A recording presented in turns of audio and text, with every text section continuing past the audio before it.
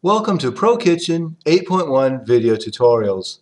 In this tutorial, we're going to take a look at the eTemplate eLaser integration.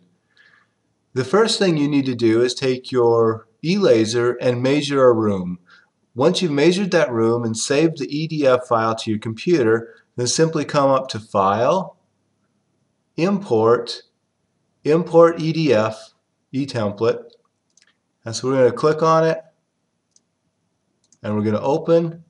Here we see it's imported successfully.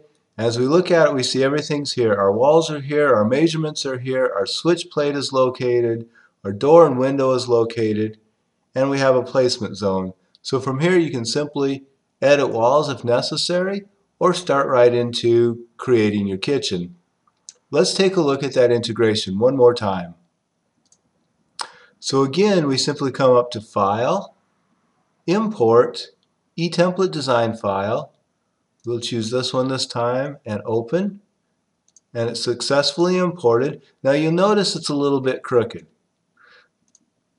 So to straighten that out, we can simply come up here and click on our angle and set this down.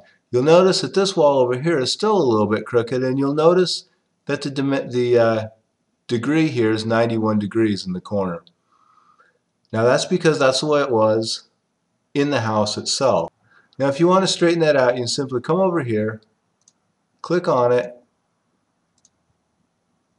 grab the handle, rotate it right over to 90 degrees, and now you're all set.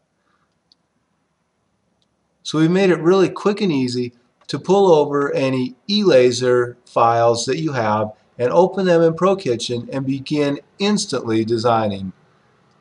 This has been ProKitchen eLaser eTemplate integration. Thank you for watching.